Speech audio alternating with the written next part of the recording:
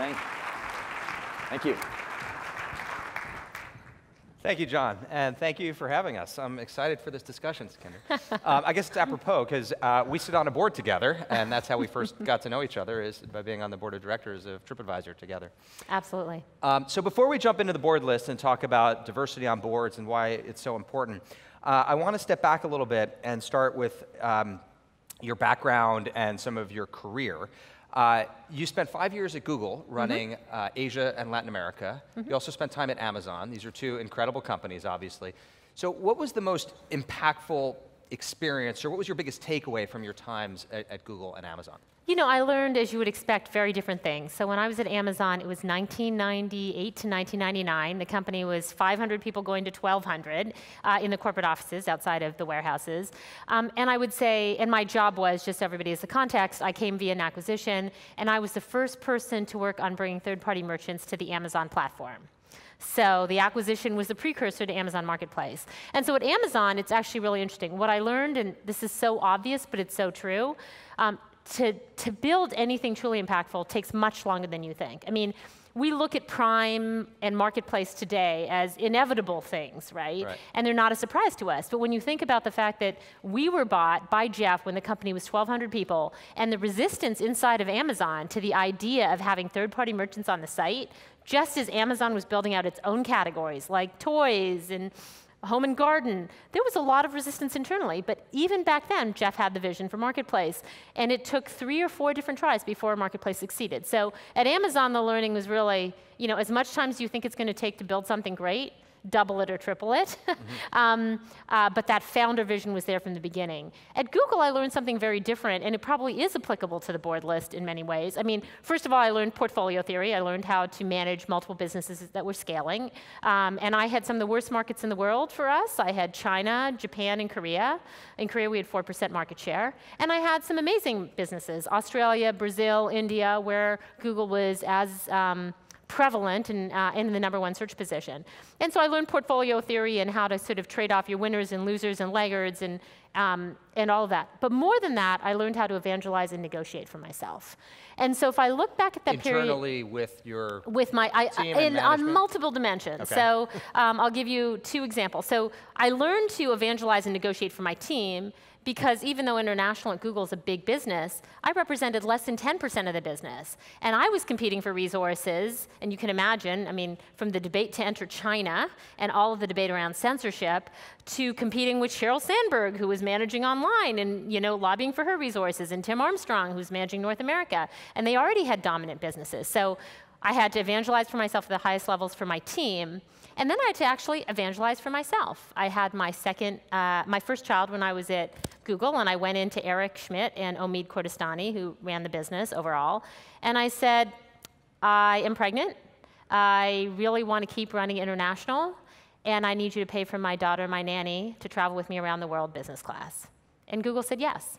Now, does that, did, did that come naturally to you, that ability and willingness to advocate for yourself, or was that something that was hard and you had to sort of muster the, the courage to uh, um, people in, will tell you I've always been a pretty aggressive person. I okay. mean, I always say I thought I was leaned in until I met Sheryl Sandberg, and then I realized there's a whole other level of lean in. So I have to say I've always been a pretty aggressive person.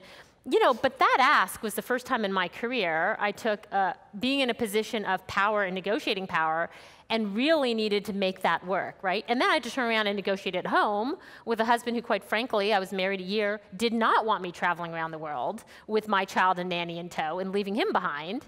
And I learned how to negotiate with him multiple times over, including for my third child. Um, so, so I would just say in that period, I learned to advocate for myself professionally, for my teams, for myself, and to really put myself out there um, at a whole different level. So while I would say I've always been aggressive, that was still a level of risk for me that I hadn't taken before. So, okay, um, gosh, there's a lot to a lot to think about there.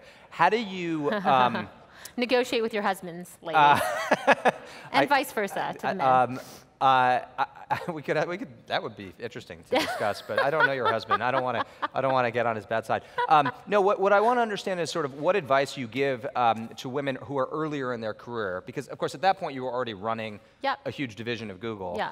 Um, so, so how do you, what advice do you give to a woman earlier in her career? Like, what does it really mean to advocate for yourself? Yeah, you know, so I think two things, and, and this is probably not gender biased advice because I'd give it to anyone who's early in their career. Mm-hmm. Look, I mean, for the first 10 years of my career, I was just heads down and I just worked my, my ass off and I did what I call excellent work for excellent people. So that gets you a pretty long way, it turns out, right? Both those things. Make, make sure you're working for somebody who you think you can learn amazing amounts from, and I was always privileged to be able to do that. And number two, just do whatever it takes. I mean, if everybody else is here, you have to be here. I think once you achieve that, particularly in tech, and we can talk about biases on the other end, and I'm sure we will, but once you achieve that level of credibility, tech is a place that actually treats its superstars you know, well. Like it's a very kind of individualistic place. So the reality is, once you have credibility, your ability to negotiate for yourself increases exponentially. So that's not to say, gosh, gee, it's just good enough to work really hard and, um, uh, and that's all it takes. I think for women in particular, I think advocating yourself for yourself doesn't always come that easy. I right. think there are many women who are so busy caring for everyone else that the idea that they would say what they need first is maybe not as intrinsic. And there's data, I, I think, yes, on, on this, this, right? Yes, that, absolutely. That, that, says, for example, that women only typically apply for internal jobs where they meet almost all of the criteria, exactly. but men tend to apply when they only meet half of the criteria, whatever, that, right? That's, that's absolutely right. That men tend to think they're qualified for things that they may not necessarily be qualified for, and women aren't sure they're qualified for things that they're like overqualified for. I mean, and there is data around this. So, I mean, I think the only thing I would say to women is, a, you know, if you think you don't need to negotiate in your professional and your personal life to make it work, you're wrong. You do. So you do have to sort of bolster yourself and say, what do I need to make this work? And there's a negotiation at home and there's a negotiation at work. And how do you get to the point to negotiate credibly? It's like how you get there anyway. You have leverage because you are a superstar because you are great at what you do. And then you don't go in with arrogance. I never went in with arrogance and said, gosh, gee, I'm so awesome. Google, you need to do this for me. I went in with confidence that I was great at my job and enough humility to know that if they actually gave it to me, wow, like how lucky was I? Right? And I think that's the balance I always seek in, uh, in people who sort of I love. They lean forward, yet they know that they're not entitled. So you, you took this um, professional philosophy that allowed you to succeed at Google, and you've focused a lot of the last couple of years of your career on trying to create a new initiative which helps scale this mm-hmm. across other companies. And right. um, describe what the board list is, why you created it, and, and what you hope it to accomplish. Got it. Um, and by the way, my career sounds really rosy, so at some point I'd love to give you all a story, um, my own personal story, of, uh, and, I'll, and I'll share in a moment about why I started the board list. But um, how many of you are familiar with the board list? Like to see a few people in the room. Okay, so not that many. Um, uh, we're only about two years old, and the board list is a peer to peer platform where CEOs and senior executives with experience on boards, people like Spencer, um, and founders in the room who sit on your own board, you're equally qualified, nominate uh, diverse talent, in this case women, for board service from, uh, from Series A all the way to public company boards. And then companies can come in and search for great board talent. So it's a talent marketplace specifically for boards, early stage all the way to public. Um, and I started it for two reasons. On the one hand, as you can probably tell, I'm an optimist. I'm somebody who believes in possibility. And I feel like genuinely I had a pretty meritocratic career in the Valley. However, when I became an entrepreneur after Google and uh, started a company called Joyus, which was in the fashion space, I had no trouble raising money, right? I had no trouble raising money because I had been at Yodlee as a founder, which was a fintech startup, and it had a public company exit and then got bought. I'd been at Google with engineers early on. Um, I'd been at Amazon. So I raised money pretty easily. But as I was back in the startup ecosystem in my 40s, not in my 20s, I would hear these appalling stories right. from younger women entrepreneurs. And I was like, really? Did that really happen to you? I think the worst thing I heard recently, I forget where I read it, probably GeekWire, was uh, a, a, a, startup founded by women who invented a fake male co-founder yes. as part of the, the pitch. To, I mean, it, yeah. are you kidding me? Are you kidding That's me? And so I mean. They're, it, they're so sad, and there's so, and there are multiple stories of women who walked in with their male co-founder with the assumption that the male co-founder is the CEO, or should be, by the way, even right. if she was. So I would hear all these stories, um, and I'm an angel investor uh, behind a number of entrepreneurs, men and women, including uh, people like Katrina Lake at Stitch Fix, who's become an amazing entrepreneur. Um, and has built a, a, a really valuable business, as you all know. But as I heard the stories of women younger than me who didn't have um, maybe the 15 or 20 years uh, I had in tech and, and the Rolodex I had by the time I ra- raised money, I really came to believe that my experience in the Valley was not the entirety of people's experience. Um, and so I, I was thinking about starting something, and then one thing kind of compelled me to start the board list besides hearing these women's experiences. And I remembered that my very first experience in the Valley was a pretty terrible one. So I was five years into my career. I'd been at, in investment banking on Wall Street. Uh, I'd been in London working for News Corp for the CEO and COO, and I'd had a pretty high-flying career for my first five years. I was like very, you know, successful in these male-dominated industries. And I came to the Valley because I really wanted to be an entrepreneur and I didn't know how. And I started at a company. And on day two, my male boss told me that I was scaring the secretaries. On day two, I'm like, what could I have possibly done in the first 24 hours to excuse my language, scare the shit out of the secretaries. I mean, really, I, I didn't even know. It's like, did I go to the bathroom too aggressively? Like, what was it? Um, and meanwhile, I saw a male uh, employee who'd been hired by my male boss who was multiple times older than me and incredibly emotionally volatile.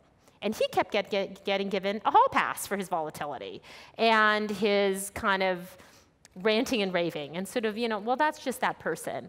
And increasingly, I got menial tasks. And this person was rewarded in the workplace. And I remember there was a conversation. What year, what year are we talking? Um, we're talking like 1997, Okay. 1997, I think. And I'm 27 years old. And I, like I said, I've arrived in the Valley with success. And so I basically um, say to my boss in the parking lot, I'm like, I don't understand what's going on here. And he's like, geez, Sukhinder, you're like the rookie on the football team that we just need to coach. And I'm like, it's funny. Like I've had five years of work experience, and nobody's ever told me that before. In fact, they just give me, keep giving me more and more responsibility. Like, what do I need coaching for? I don't even understand. And so six months later, I quit. And I quit pretty uh, dejected and pretty sure that I was not destined for the Valley, pretty sure that I was not destined to be a biz dev executive. And I almost left, and luckily for me, I interviewed at a company called Junglee, where the five male Indian co founders loved me, and I loved them. And I joined, and six months later, we were bought by Amazon, and my career took off. But in remembering that experience, I was like, wow, this actually almost happened to me too. I've forgotten about it because everything in between's been so good. And so that's what compelled me to start. So, has that much changed? Um, well, I would say the last 12 months that you know Yes. has been an acceleration of change. It's I mean, amazing, right? It's I mean, amazing. the- uh, you know, so, what do you think it's changed in the last 12 months? What's well, changed a number of very brave people stood up and used the power of technology and blogging and social media to shine a bright light on this appalling situation. I mean, tw- in 1997, when that happened to you, you had no Right. means to spread the word. And even if I had, I didn't have the courage to. Okay. And so you're hitting that. So I think, are things changing? They're changing, I think, because with the intersection of three things. And they're not all negative, right? But there is some, uh, there's some neg- negative stuff in there that we have to acknowledge. Number one, we are seeing more and more women founders building valuable companies, whether it's Julia Hartz, whether it's Katrina Lake, whether it's the women at Birchbox, whether it's Jennifer at Rent the Runway. I mean, across all sectors, we are seeing women, B2B, B2C, building companies. And people say, well, the percentages aren't high enough, Sukhinder. And I'm like, you know, Spencer, compared to when I started my first company in 1997, there are a ton more women out there. And so as women have successful outcomes, this is sort of trend one, and we're starting to see, you know, I suspect we're going to see the first unicorn here go public. I hope when Stitch Fix goes public, led by a woman. That will be a milestone for us, mm-hmm. and I think it's important. Number two, we do see people using technology to make change, right? In multiple areas. I mean, the board list is an example. There are many other people who are sort of saying, look, we're going to use technology for good and for impact. And then number three, to your point, there has been loss. There has been bravery, and there has been, you know, power loss, financial loss. For the first time, there have been repercussions to being a bad actor Right. in this ecosystem. So, I mean, it's, it's obviously uh, awful how much bad, how many bad things have to happen and how much sort of negativity has to happen for something good to result Transpire. from it. Uh, You have been watching the last couple days of the Harvey Weinstein um, you know, train wreck unfold, Yeah. and woman after woman is coming out with a very similar story about how they felt uh, disempowered, they had no choice, they had no ability to speak out, and then um, now they're finding their voice Right. years later because of strength in numbers, really. Yeah. So I think we can all agree that the things that we're reading about those types of allegations and you know, in tech or outside tech are awful and inexcusable. Let's, let's talk about the business impact, though, Mm-hmm. right? When, when you see uh, slides like, um, you know, slides like this, which Mm-hmm. uh, talk about what impact diversity, gender and other types of diversity, have on business results. Mm-hmm. I guess articulate the business case for diversity Sure, uh, uh, sure. for, for And- all of us. So, and I'm not going to actually articulate the public company case for diversity, which has been well made, and you can look at the numbers yourself and read McKinsey studies or Catalyst. I'm going to articulate the private company need for diversity. So, how many of you in the room are founders? A few of you. How many of you are in companies that are early stage? Number of you, I hope. Um, the, the reality is the number of early stage company boards that are not, not dominated by financial investors are very few. And in the early stages of the company, what do you most need? Advice, help, you know, perspective, because here you are building a company from the inside out. You don't understand your customer, you don't understand your B2B or B2C customer, you don't understand maybe your employee base that you need to build. And so diverse thought in that boardroom is more important than ever. In, in those cases, it takes the, uh, the, it looks like operators in the room. It looks like another CEO. It looks like somebody who represents your customers. It looks like somebody who represents your employees. It's diverse, right? But most private companies don't take advantage of that independent board seat, and as a result, you have a board that's dominated by financial folks. That's all well and good, but at the end of the day, think about the opportunity to be great at what you do simply by renting the talent you could not afford to buy. I always say to people, if you're a founder and you don't think about an independent board seat, I'm like, why don't you go rent that brilliant superstar mind, who, by the way, is likely not coming to your startup when it's 10 people? But may well sit on your board and give you the perspective that you're lacking, you know, whether it's in terms, or the skill set you're lacking, whether it's in terms of how to create demand for your product, or how to solve a supply chain problem, or how to think about deep technology application to your, uh, to your product and vision. So diversity drives better outcomes. Diversity drives better thinking, better outcomes, better execution, I suspect, and I think is uh, white space with, with regard to private companies, actually. Okay. Um, but uh, what do you say to someone who says, uh, I mean, this is the. This is the question that universities have been asking themselves for decades as, Yes. as they've tried to create more diversity. Uh, you know, we don't want to lower the bar, quote unquote, Yeah. uh, by seeking a diverse ta- candidate for this role, whether it's a director position or some other position. Well, you know, I, the irony I find about people using the phrase lower the bar is I think Silicon Valley is built for people who've been given opportunity that they're not qualified for on paper. so I don't know about you, but I have never in my life had a job for which I'm qualified on paper. Not once. When I became a founder and an SVP of biz dev at the age of 29, I certainly wasn't qualified. Were, I mean, No? I, I was totally unqualified Were you for qualified every, to be CEO every job I've had in tech. This is my point. So we will take a bet on people all day long and take a high potential candidate and move them into a role of, you know, increasing responsibility or to become a CEO or to take in funding when they are not remotely qualified because we seek opportunity and great talent. Yet somehow when we talk about women, this turns from sort of taking, you know, all the available pool of talent and taking advantage to, uh, of it to a kind of a lower the bar conversation, which I think is ridiculous because we live in a talent economy where all of us are starving for talent. So let's take the long view because um, the last two years, this has been, um, you know, this has really consumed the tech industry from, uh, you know, from the Uber discussions to now, I guess, Harvey Weinstein, to, like you name it, right? It's been all we can talk about the last couple of years. 10 years from now, when my 12 year old daughter, and I guess 20 years from now, when my six year old daughter mm-hmm. are in tech, will we still be talking about these issues, or will it be as silly as talking about left handed people versus right handed people? I mean, we would never be discussing how to include more left handed people in, in these types of roles.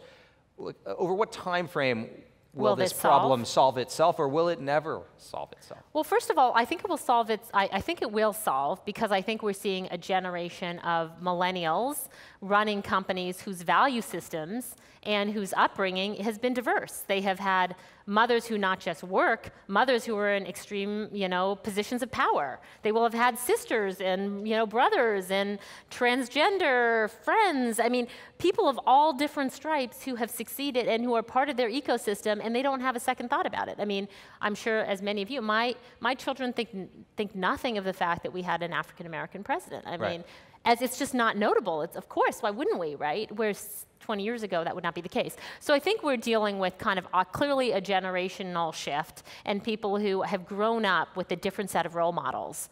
Um, so I think that's, well, that's one case. Number two, of course, I mean, as we look at the women continuing to have outcomes, that will change the paradigm. And number three, and this is not to be overlooked, for your daughter or mine, who's 11 years old, or you know the sons and daughters of many of the people in the room, I think we need to remember that we all look at like girls in STEM as the singular solve for the next generation of problems, right? Or the next generation of opportunity. And I just want to point out that it's not just that we need you know, new role models, which is happening, and women having outcomes, which is happening. I think we need to train our children, particularly our girls, not to think of just them, but to think about becoming makers. And so I think it's as important to train our children on design thinking and entrepreneurship as it is to train them in STEM. So I understand, like, look, if my daughter wants to do a science degree, great. But mostly, I want her to understand that like entrepreneurship is not some far out thing, that it's as easy as like setting a, a website up when she's seven years old and writing a book when she's 11, you know, and who knows where it goes from there. So I think that's the, the third part of this, right? All right. Well, hopefully 10 years from now, our